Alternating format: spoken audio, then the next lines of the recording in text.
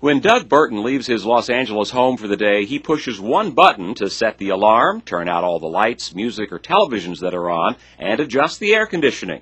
All of those things are controlled by a home automation system called Insteon, sold by Smart Home. It's part of a new breed of home automation devices that are finally hitting their stride in affordability and dependability after a decade of mixed results.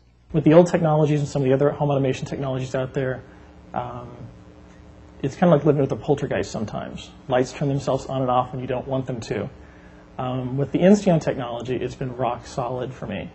What's made it possible for this industry to turn the corner is radio frequency controllers and internet network interfacing. With old fashioned hardwiring, you could have a fully automated home as far back as 25 years ago, but at a price of tens of thousands of dollars. Now the gadgets are mostly wireless, much cheaper than ever before, and can interact with your internet service. A home outfitted with today's automation equipment can cost from as little as a few hundred up to eight or ten thousand dollars. You can also save more money by installing a lot of the stuff yourself. I think that the home automation, electronic home improvement, is, is really today in a 20% of the homes. It depends how you want to classify home automation, but we see tremendous growth and a number of factors that are coming together in this area that really are going to help fuel it. One of them, if you look at it, is a focus on the home and people wanting to do home improvement. And this just becomes a natural extension of the home improvement um, applications. At this house on Long Island, New York, the homeowners hired Craig Cohen to come in and link all their electrical devices to a central controller unit. Cohen works with all the brands available, and for this home, he chose a product made by Control 4.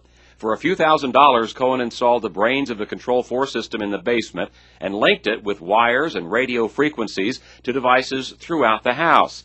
And they're all connected to the internet as well. You can control them when you're away from home, and perhaps more importantly, the devices can also contact you. Any one of the devices that you have here can actually email you when somebody activates it. So if you want to know if the kids came home too late, it can email you at 1 a.m. if you're away and tell you that, that the kids turned on the lights.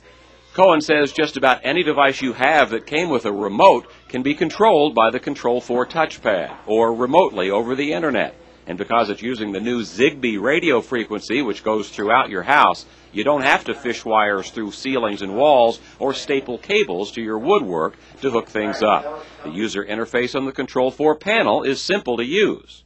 If you wanted to watch TV, you can press the TV button and choose cable TV, and it will turn on the television in the breakfast room.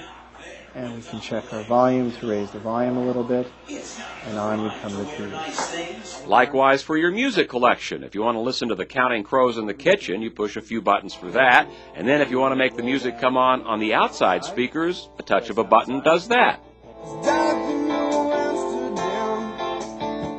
Okay, if you have a smart home to play with all your gadgets, how about smart bedding? West Point Home is coming out with a whole line of smart bedding printed with interactive dyes. So with a touch of the fabric, you can actually turn on your lamp. Now the Cinderella bedspread lights up and makes a swishing sound like a fairy godmother's wand, just what you wanted. Three different versions go on sale next month at several retailers, including Walmart and JCPenney online, selling for between $60 and $100. Next spring, we'll see some smart stuff for grown-ups too, including a pillowcase that remotely controls your MP3 player and a silk spread that gives you a massage. Now we're talking.